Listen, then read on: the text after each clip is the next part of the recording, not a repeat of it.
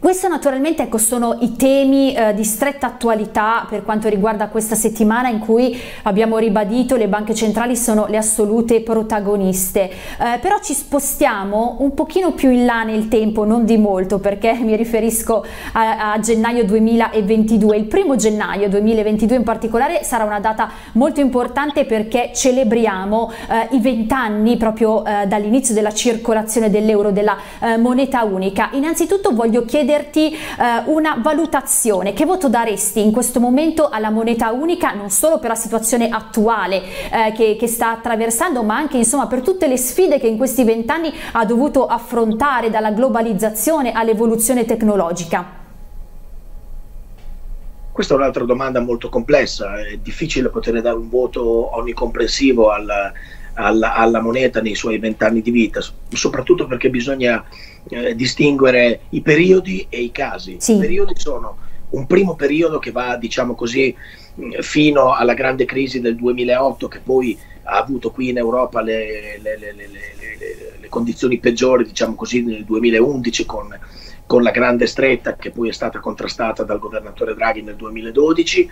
Diciamo questo primo periodo fino al 2011 eh, un periodo decisamente positivo, eh, un periodo in cui eh, c'è stato un buon percorso, in cui c'è stata una buona convergenza fra il credito e la finanza, in cui si sono costruite le basi di una, di una politica monetaria solida. Eh, mentre invece eh, dopo, la crisi, dopo la grande crisi del 2008 che appunto in Europa ha avuto eh, le, le, conseguenze peggiori nel 2011, spesso eh, la politica dell'euro, quindi la politica della BCE non è stata all'altezza della situazione, per esempio nei, nel caso della Grecia il, il, problema non è stato affrontato eh, al meglio e, e quindi dobbiamo distinguere questi due periodi. Ultimamente, eh, diciamo, eh, l'euro è tornato ad essere un baluardo importante per quello che riguarda la stabilità dell'Unione, eh, dell'Unione stessa. Poi dobbiamo fare un'altra distinzione importante.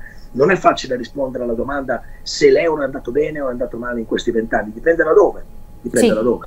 Per esempio, eh, eh, leggendo un, un report di Bloomberg, vi sono paesi in cui eh, vi è stata una percezione eh, di, eh, di, positività per quello che riguarda il giudizio com- complessivo e globale dell'euro nei vent'anni e parlo eh, in maniera precipua eh, della Germania, evidentemente, eh, ma poi anche dell'Austria, della Finlandia, addirittura del Belgio e anche di alcuni paesi che sono entrati nella, nell'area euro solo successivamente, per esempio la Slovenia e la Slovacchia, dove la percezione del, dell'euro è stata molto positiva, dove, dove l'euro ha sicuramente contribuito a, ad aumentare la competitività e ha decisamente soddisfatto il sistema produttivo e i cittadini dei vari paesi. Poi ci sono altri paesi in cui questo giudizio non è, eh, non è stato espresso in termini altrettanti positivi, fra i quali appunto ci siamo anche noi, eh, c'è la Francia, c'è la Spagna,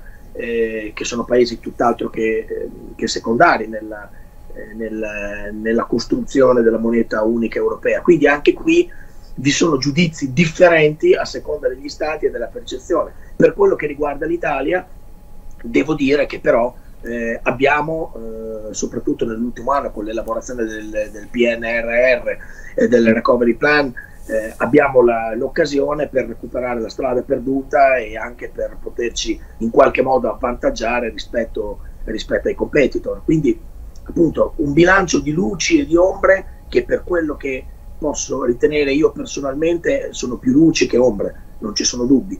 Eh, però non c'è dubbio che vi sono state anche alcune, alcune fasi in cui, in cui, l'euro davvero ha dato l'impressione di non, di non controllare la situazione. Alcuni mi chiedono, eh, alle volte anche lettori mi scrivono e mi chiedono come sarebbe stato se, se, ci fosse ancora la lira. Ecco, guarda, mi hai, mi hai, proprio anticipato perché te lo volevo chiedere anch'io, nel senso che ovviamente l'euro ha scatenato il dibattito, insomma, tra moneta unica oppure eh, conio nazionale, come sarebbe andato se molti dicono avessimo tenuto la lira in questo momento, non in questo momento, anzi un bel po' di tempo fa, l'Italia sarebbe andata in default. Tu come la vedi? Guarda, eh, difficilmente posso parlare di default o mm. delle conseguenze, diciamo così, precise di questo.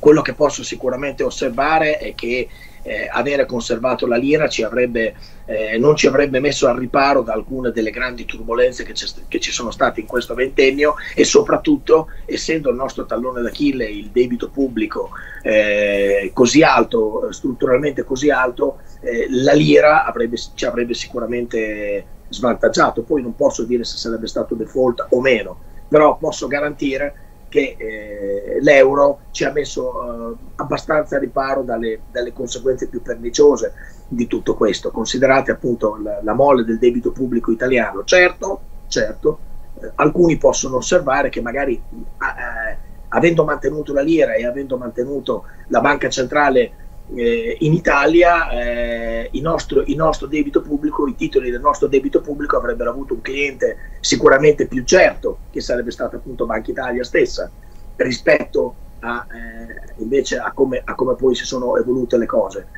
Eh, però sono sicuro eh, che eh, il problema del debito pubblico, se avessimo mantenuto la lira, sarebbe stato molto molto più grave anche perché i saggi di interesse evidentemente sarebbero decisamente superiori e, e, quindi, e quindi, le conseguenze di questo sinceramente non, non, non saprei quali potrebbero essere, ma se non, se, non è, se non, sarebbe stato default ci sarebbe mancato davvero poco. Certo, sì, sì, sì, ovviamente insomma sono solo supposizioni che, che possiamo fare. Un'ultima suggestione invece per quanto riguarda, l'hai citato, il ruolo eh, della Germania, perché eh, diciamo che chi ha tratto vantaggio sicuramente dalla moneta unica eh, sono stati i tedeschi, i tedeschi che però in questo momento stanno attraversando una situazione un pochino più complessa eh, della nostra, nel senso che con un'inflazione che eh, ha raggiunto eh, un tasso superiore al, al 5% come non si vedeva addirittura dal 1992 dal periodo eh, di Helmut Kohl. Insomma questo cambia completamente eh, lo scenario. E poi un altro fattore da considerare è anche il dopo Weidmann. Eh, quindi ti chiedo una riflessione sulla Germania come influenzerà eh, non solo ecco, la, la, politica poi monetaria del, del continente ma soprattutto anche le decisioni della Lagarde a questo punto la Germania è un anello importante, sì. fondamentale della costruzione europea e dell'euro, quindi non c'è dubbio che quello che saranno le scelte e le decisioni della Germania influenzeranno eh, molto anche quelle, quella della BCE. Eh, calcoliamo che eh, la, la, produttività, la, produttività, della Germania eh, durante il ventennio dell'euro è aumentata del 24,4%, mentre quella dell'Italia, per esempio, è aumentata del 5%. Questo cosa significa? Che negli ultimi vent'anni la Germania ha saputo sfruttare l'euro in maniera molto più, eh, molto più eh, importante di come siamo riusciti a fare noi o di come sono riusciti a fare altri paesi e questo indubbiamente ha, ha portato la Germania a una, a una a una situazione di locomotiva dell'economia. Sì. Adesso la Germania indubbiamente sta un po' prendendo fiato, è anche, eh, come dire, è anche in una fase di passaggio in cui c'è stato l'altro giorno eh, il saluto della, della, cancelliera uscente che per 16 anni ha governato, eh, ha governato il paese, ora abbiamo un nuovo cancelliere, abbiamo una, eh, una, una, una politica economica che sicuramente verrà ritoccata rispetto a quello che era la politica della, della cancelliera Merkel e sicuramente abbiamo dei dati congiunturali il dato sull'inflazione che hai citato tu, ma ci sono dei dati ugualmente preoccupanti per quello che riguarda la Germania, anche in termini di produzione industriale, per esempio, sì. eh, e, anche, e, anche, devo dire, in termini di crescita, perché per la prima volta da, da diversi decenni la Germania cresce molto meno del, della media europea e, e anche meno dell'Italia e questo è davvero è una notizia importante. Quindi in questo momento la Germania è una, in, su un crinale, in una fase diciamo così di transizione, una fase anche critica, eh, la congiuntura non sta andando benissimo. Eh, ecco, ma secondo te, scusami se ti interrompo, è sì. solo un momento di flessione oppure il ruolo, come hai detto, di locomotiva economica d'Europa è a rischio? E chi potrebbe prenderlo eventualmente al posto della Germania a questo punto? Ma secondo me un, un minimo di riequilibrio è, un, è, una cosa assolutamente salutare. Eh, non vi devono essere, secondo me, locomotive sì? per quello che riguarda eh, la, la, la politica eh, economica europea. Deve essere, eh, deve essere, la BCE che coordina in maniera omogenea eh, una una politica europea economica comune eh, in grado di fare sì che sia l'intero continente, l'intero blocco, l'intero mercato europeo a fare il ruolo della locomotiva, non un singolo paese che, pote- che è stata la Germania per molti anni e che in questo momento potrebbe essere l'Italia o potrebbero essere eh, magari altri stati.